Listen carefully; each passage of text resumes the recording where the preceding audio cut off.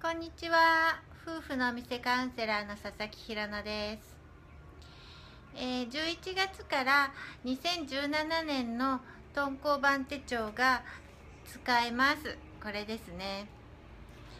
2016年はこれ。これなんですけど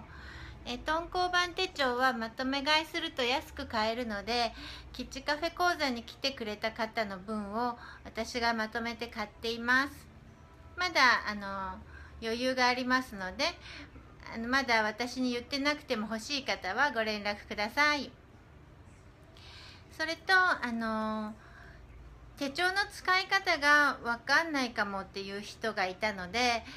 その手帳を持ってる方向けに敦煌版手帳の質問会をやろうかなと思います。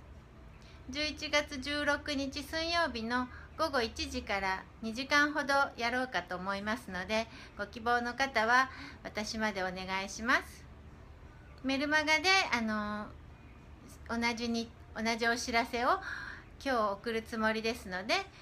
あのカレンダーチェックしてみてください。何かついつも手帳を使っていてこれって何だろうとか意味がわからないこととかありましたら質問会の時に質問してください、えー、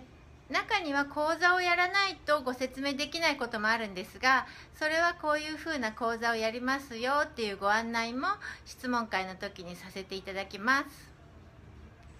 それでは今日はこの辺でごきげんよう。